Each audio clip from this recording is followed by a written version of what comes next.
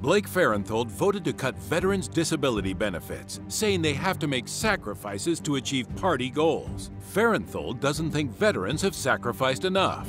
Wesley Reed knows they have. Reed is a proud Texan, Marine, and family man. He's running for Congress to make Washington keep its promises to veterans, protect Social Security, and put Texans ahead of political parties. Blake says he stands for veterans, but his votes tell the truth. I'm Wesley Reed, and I approve this message.